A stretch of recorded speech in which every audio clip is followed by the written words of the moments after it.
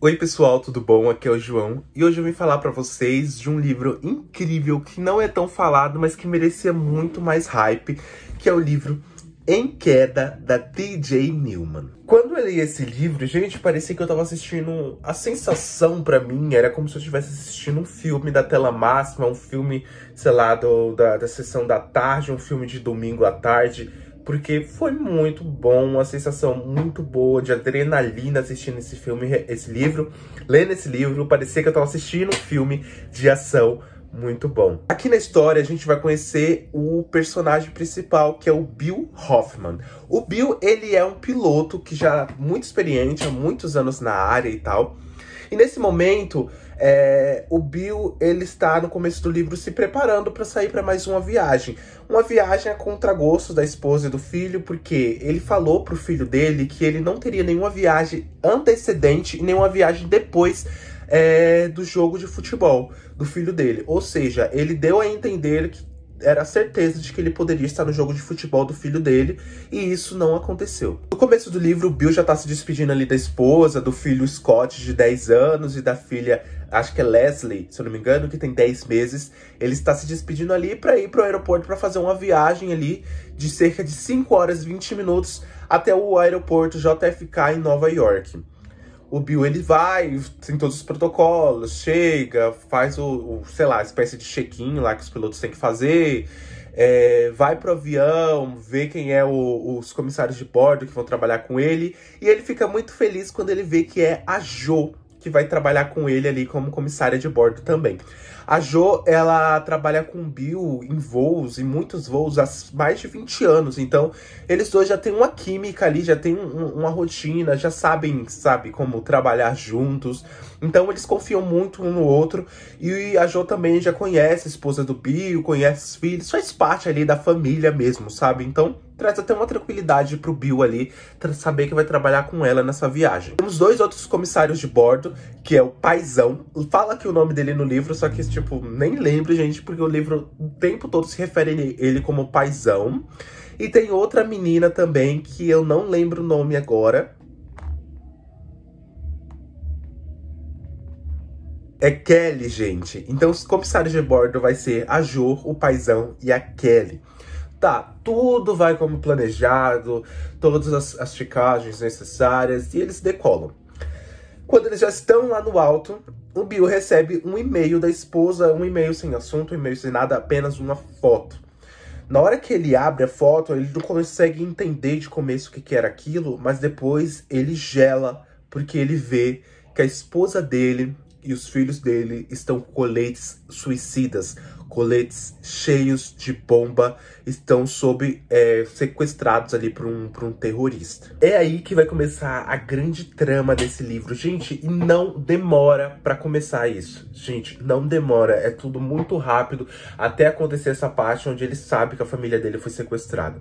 E o sequestrador, ele tem várias exigências sabe? Várias exigências. A primeira era que ele colocasse o fone de ouvido no notebook, que ele, o sequestrador ia ligar para ele por vídeo chamada, o sequestrador ia falando e o Bill ia digitando no chat as respostas. Uma das exigências do sequestrador era que o Bill não contasse para os comissários de bordo e nem para o copiloto dele, o Ben.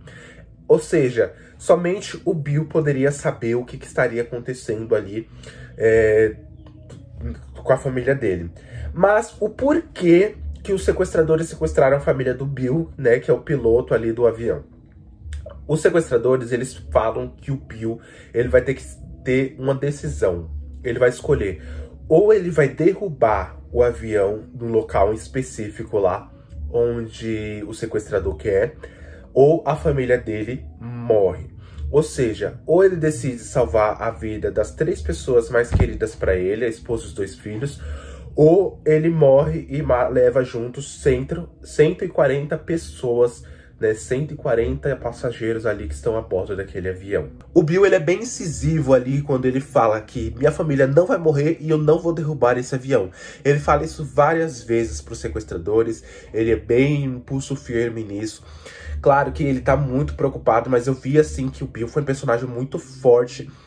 E ele faz uma coisa que o sequestrador pediu para ele não fazer. Ele conta pra Jo, que é a comissária de bordo. E, gente, a Jo vai ser um dos personagens mais principais desse livro. Que mulher incrível. Sério, se tivesse um filme, eu queria muito que nesse filme ela fosse interpretada pela Viola Davis. Porque ia ser sensacional. A Jo, ela toma ali as dores, sabe, do, do Bill, ela sente como se fosse a família dela sendo sequestrada, sabe? E ela tem um sobrinho que trabalha nada mais, nada menos do que pro FBI. Então ela manda mensagem pro sobrinho dela, então o FBI vai começar a agir.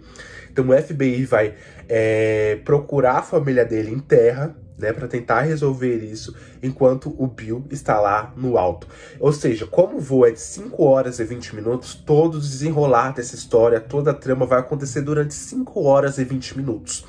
Então, esse livro aqui se passa basicamente em 5 horas e 20 minutos. Então imagine o quanto não é corrido, qual a adrenalina que não tem em toda essa história. o sequestrador, né, que sequestra ali a esposa e os dois filhos, ele começa a contar a história dele, que eu não vou contar aqui, mas para dar spoiler, mas o porquê que ele tá sequestrando esse avião. E, gente, o filho do Bill, o Scott, de 10 anos, eu acho que ele é um dos personagens mais fortes, mais fortes aqui deste livro. Ele, sabe, eu acho que ele foi um porto seguro ali pra mãe dele durante todo esse sequestro. Ele, maior parte do tempo, ele que cuidou da irmãzinha de 10 meses. Eu até marquei um trecho que eu achei muito bonitinho. Eu vou ler aqui pra vocês. Scott disse assim: Por favor, disse uma voz, me leve, só eu. A voz baixa do menino tinha uma pureza que destroçou o coração de Bill. O lábio inferior de Scott tremia. Sua súplica não era barganha de um homem maduro aceitando com conhecimento o fardo de seu destino. Era o grito de um menininho forçado a abandonar a inocência, mas sem ferramentas para entender uma criança meramente imitando o que via heróis de filmes fazerem, o que achava que o pai faria. Então eu acho ali que o Scott foi um personagem, apesar de não ter, ter tido tanta ação, ele foi ali muito importante. Eu acho que ele foi um apoio psicológico para a mãe dele, né? E para a irmãzinha dele de 10 meses. Voltando aos comissários de bordo, gente, esses comissários de bordo, eles vão fazer coisas, sabe? Eles vão fazer da, das triplos corações é, para cuidar daquele voo durante toda essa trama. E, cara, é simplesmente, eu só acho que, que se, não só o piloto, mas só esses comissários mereciam uma medalha do presidente por tudo que eles fez no voo. A escritora, a T.J. Newman, ela detalhou bastante ali sobre a questão de voo, nomes como eu não conhecia como Galley, né, que é a, a, parte ali onde ficam os comissários, eu não sabia o nome disso. E depois eu lendo aqui, gente, nessa partezinha aqui da, da orelha, né, que fala sobre o autor, essa é a autora, eu vi que ela é uma ex-comissária de bordo que trabalhou mais de 10 anos ali numa companhia aérea. Então eu fiquei pensando, somente uma comissária de bordo poderia detalhar tão bem ali tudo o que aconteceu, todos os protocolos, tudo é, o que estava acontecendo ali no avião. Achei que ela foi essencial ali. O conhecimento dela é essencial ali para escrever essa história. Esse livro está favoritado, gente. É um livro sensacional. Eu acho que é um livro que merece muito é, mais hype né? Eu sei que quando ele foi vendido na pré-venda, ele foi vendido lá com marca-página bonitinho, parecendo um, um, uma passagem de avião e tal. Mas esse livro, ele não tem tanto hype, eu não vejo ele sendo falado tanto. E eu ganhei esse livro, eu fui no cinema com a minha irmã, a gente passou naquelas livrarias, sabe, que tem no meio do shopping, aberta. E eu vi esse livro lá, eu gostei desse hora, só falei, ah, não, não vou comprar não, pra não gastar mais, né, tá, eu tô gastando muito. Aí a minha irmã pegou e me deu de presente, gente, ele foi só 15 reais. 15 reais. E na Amazon tá por 20 reais. Então, vale cada centavo. Eu espero que essa escritora escreva mais livros, porque é sensacional. E é isso, pessoal. Espero que vocês tenham gostado. Se vocês gostaram, deixa o like de vocês, deixa o comentário de vocês. Me segue também no Instagram, vou estar deixando aí na descrição o meu Instagram. É isso, um abraço e tchau, tchau.